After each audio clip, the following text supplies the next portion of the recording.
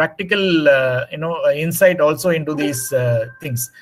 Um, so I kindly request you not to take my uh, individual sentences in, uh, uh, you know, uh, and then try to come to your own conclusion. I'll be talking in a flow. And uh, even though I come from a research background, uh, I felt that, you know, I should talk only more from the practical point of view. Even to an academic thing, because ultimately it is you who are turning out a number of civil engineers who are going to come into the industry. And um, um, what whenever I speak, I would like to talk about the method as well as its uh, advantages as well as its practical limitations. So kindly don't harp on the advantages alone or don't harp on the you know the limitations. I would like to present it as it is, like you know how in the past 35 years what I had felt towards non-destructive testing. So th thanks once again, and uh, let me start the talk. The various investigation methods are non-destructive methods, then uh, uh, partially destructive methods, and load test. Because the code does not say you have to go and demolish a structure. They say you do non-destructive testing. If that doesn't give you a very uh, conclusive evidence, then go for some intrusive testing like core testing. Even that fails, then they say you do a load test. Even if a load test fails, they say that you know you need to do one more load test, and then that fails, you know you have to go for a, a demolition and uh, what are the various non-destructive tests that are commonly adopted in our country? First is the rebound hammer test. Second is the ultrasonic pulse velocity test. Then the core drilling test to evaluate the equivalent cube compressive strength of concrete. And then you have these durability-based tests like carbonation test, half-cell potential test, evaluation of chlorides and pH through concrete powder samples. And then you have resistivity test also. Then you have a profoscope survey for identifying cover and rebars.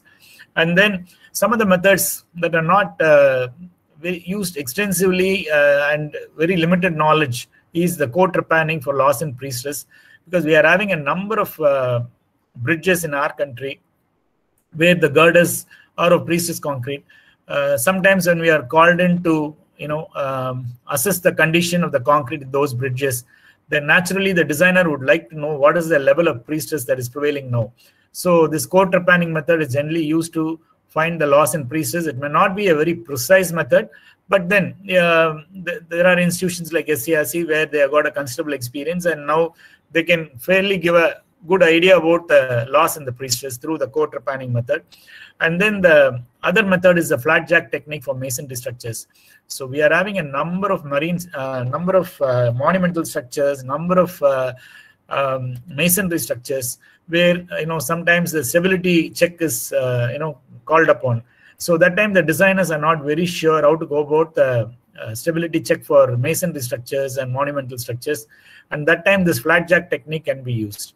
Again, as far as uh, this part of the country is concerned, flat jack technique, uh, has a considerable experience. And then now IIT Madras is also getting into it. And they're also doing a, a few uh, practical field uh, studies uh, using the flat jack technique. So these are the commonly adopted, uh, you know, tests that are away, that are being uh, used in our country. Because when a client comes to you with a problem, then you need to solve the problem. So while solving the problem uh, and while giving the rehabilitation methodology, there should be some scientific basis on giving these rehabilitation methodology. To arrive at that scientific basis, all these tests are used. Uh, so that, that is purely from the consulting point of view and from problem solving point of view. And some of the non-destructive tests that are not very popular are thermal methods, radiography, stress wave propagation methods. A number of paper, uh, researchers are doing work on this. Number of papers are coming out, but unfortunately, all these methods are not being applied in a, a large uh, way in the field.